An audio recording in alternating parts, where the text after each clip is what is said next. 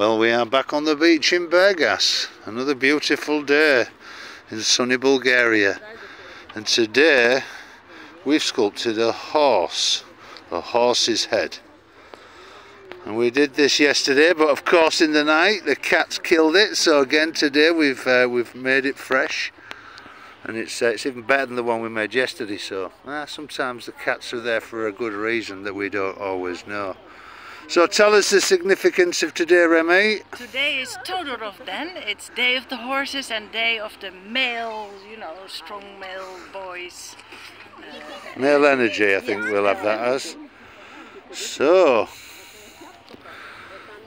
for the horse lovers out there, this is for you. For all the grandfathers, all the fathers, and all the horsey people, this is for you.